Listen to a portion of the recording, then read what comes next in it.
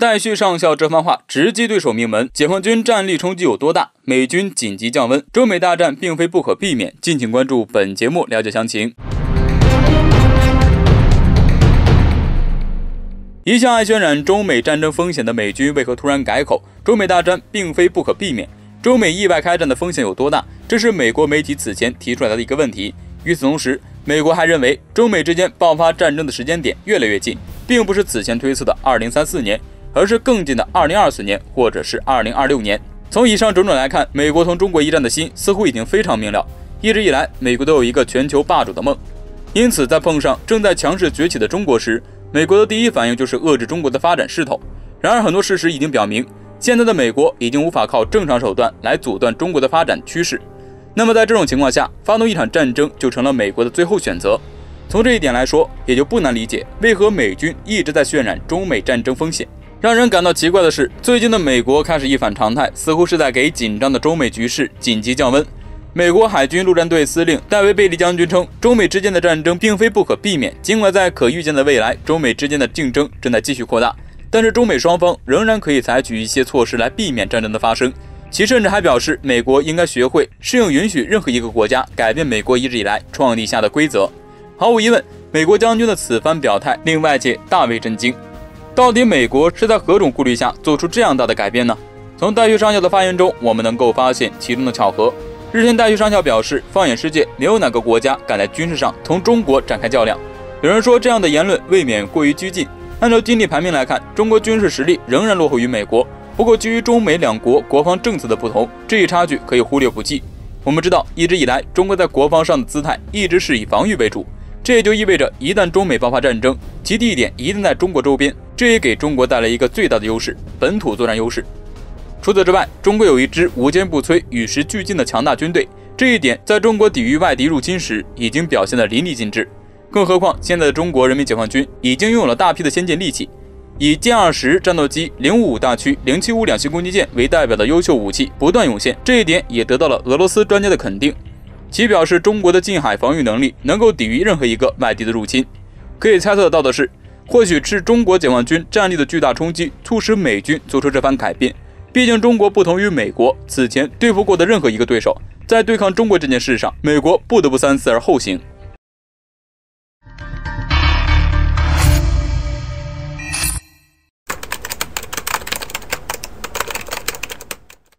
官员极力炒作南海问题，为何说中非关系或许有变？有意思的是，为何菲律宾总统杜特尔特直接下禁口令？敬请关注本节目，了解详情。近日，据外媒报道，菲律宾军方和反对派等有关官员对中国渔民出没在南海不满。菲律宾有关媒体从业人员还表示，菲律宾军方和反对派从三月起就试图炒作南海问题，甚至将中国渔船的正常作业渲染为要入侵菲律宾。再加上菲律宾国内美国势力和民族主义的推波助澜，使得菲律宾反华情绪蔓延到对中国渔船正常作业上面。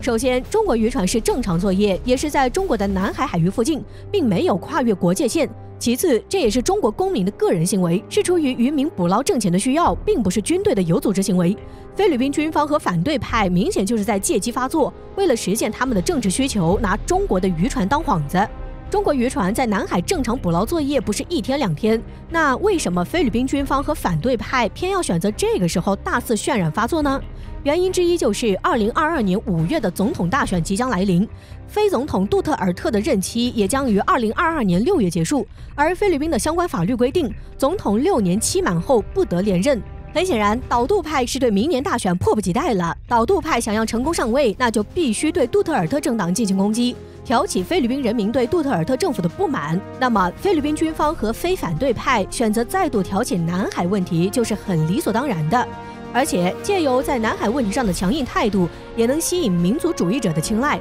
从而获得更多支持。原因之二，那就是历史遗留问题了。菲律宾对华政策在杜特尔特政府上台之前一直是比较不理智的，甚至还搞出了南海仲裁案，使得中国大为不满。直到杜特尔特政府上台执政后，对华政策才逐渐走向理性。但是，杜特尔特政府的上台并不意味着某些之前在军方和政府内部对华抱有敌意的官员就彻底改变了观念了。菲律宾的对华政策不连贯，导致了如今菲律宾的有关官员对中国的态度出现混乱。面对菲律宾国内军方和反对派官员对中国的胡乱攻击，杜特尔特及时发声，中菲关系或许有所变化。据杜特尔特在前几日的全国电视讲话中表示，不要与任何人讨论南海问题，如果非要谈，那就内部讨论，并强调这是他现在对内阁和整个政府的命令。杜特尔特可谓是直接使出雷霆手段，向这些试图炒作南海的官员下了禁口令。杜特尔特政府做出了正确的选择，也已经意识到，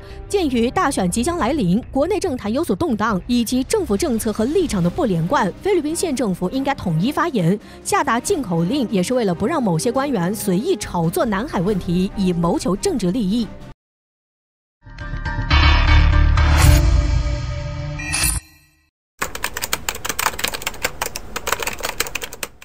一俄罗斯军事专家突然倒向美国，声称中美航母对决，美军必胜。如此笃定，却正中中国下怀。国人还要感谢专家的帮助。敬请关注本期节目，了解详情。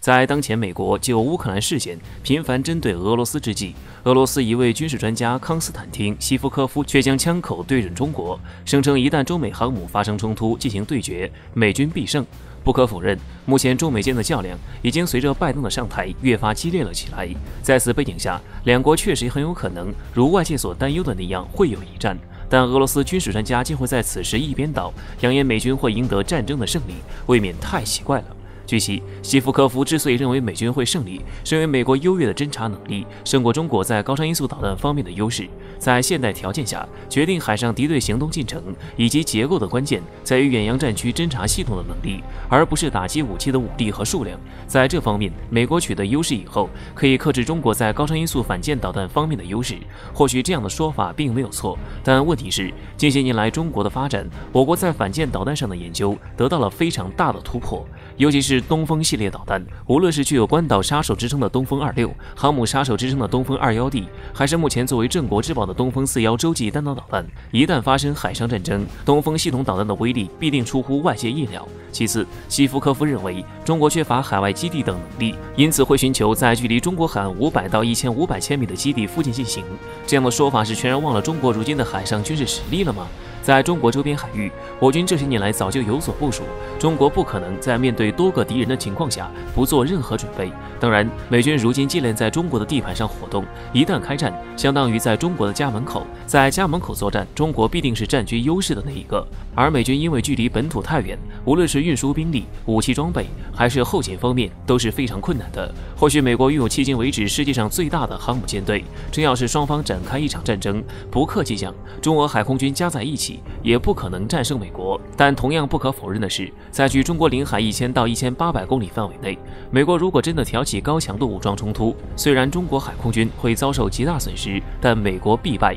哪怕加上日本和澳大利亚也不可能取胜。至于俄罗斯专家叛变倒美的做法，如此笃定美军能赢，分析认为，与其说是在唱衰中国，倒不如说是在抬高美国，用这种方面向美国发烟雾弹，让美国骄傲后败于中国航母。虽说这也是猜测，但若是真是这样。变相来说，也是正中中国下怀。话说回来，任何时候都不要低估中国人的能量。七十年前那么落后的中国都能战胜，现在也一样。